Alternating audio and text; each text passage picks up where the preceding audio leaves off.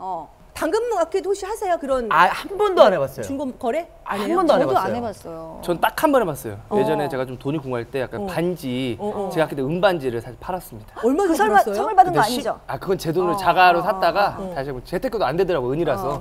거의 뭐 절반으로 다 후려가지고 어, 절반 후려가지고 뭐 반값에 근데 팔리긴 팔렸어.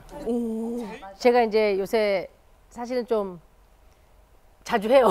아, 게아 니에요. 가만히 잘만 있구나. 하면. 아, 저는 왜 하냐면 언니 뭐 제가 이제 팔아요? 캠핑에 빠져가지고 아 캠핑 용품. 캠핑 용품은 사실은 쓸데없는 이게 것도 많죠. 맞아요. 어. 그러니까 처음에 저같이 못 모르고 약간 이렇게 그 보여주기식 캠핑을 시작한 사람들이 음. 감성 캠핑 쪽으로 가가지고 써보고 아 이게 좀 무겁다. 어, 잘안 갖고 다니게 돼요. 실용적으로. 그러니까 이제. 거래를 하게 되는 거잖아요. 그렇지, 그렇지, 그래서. 마켓에다가 이제 아이디를 하나 팠단 말이에요. 어, 야, 전문 용어 나온다. 야 전문 용어 나와. 아이디 어, 파서 어. 이제 뭐 테이블도 올리고 랜턴도 올리고 막 이렇게 하는데 이게 왜냐면 캠핑 시장이 붐이니까 저는 오히려 그걸로 재테크가 되는 거예요. 오. 예. 아니 아니 재밌더라고. 근데 이거의 문제는 뭐냐면 대박이다 언니야. 자꾸 사가는 사람이 있으니까 그러면 여기서 이 샀던 가격에 만 원만 더 붙여서 팔아볼까? 응.